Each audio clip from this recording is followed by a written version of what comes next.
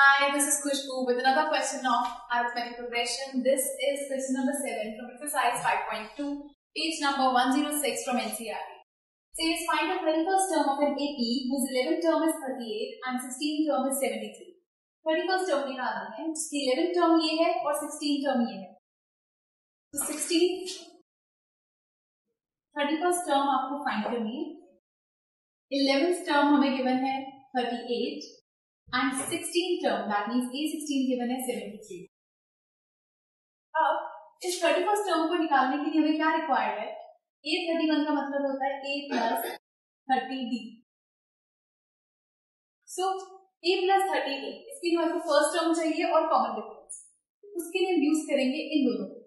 A11 11 term को हम लिख सकते हैं A plus 10D is equal to 38 sixteen term को A plus fifteen D is equal to seventy three यहाँ से माइनस किया माइनस माइनस ये कैंसिल हो गए।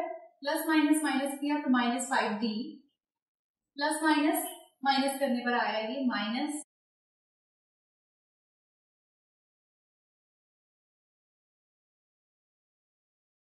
थर्टी फाइव माइनस से minus cancel D is equal to thirty five over five five one जा five seven जा so D is equal to seven ये वैल्यू आ गई हमारे पास डी का.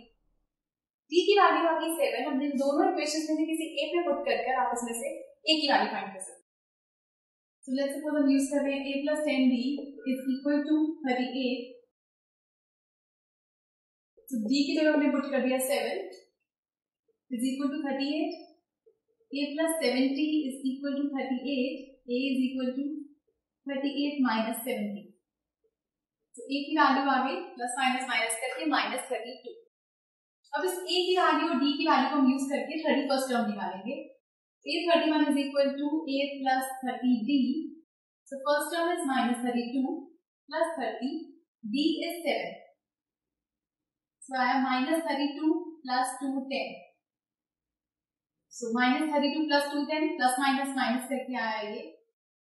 178. तो थर्टी फ़र्स्ट टर्म हमारी आ गई 178 तो जब भी कुछ इस टाइप के क्वेश्चन हो, आपको ये गिवन है जैसे 11 term is this this is this तो बेसिकली आप उस डेटा को यूज़ करिए और उसके बाद अकॉर्डिंगली फॉर्मूला पुट करके आप वैल्यूज़ निकाल सकते हो और इससे फिर जो टर्म मांगी उसकी वैल्यू आ सकती है।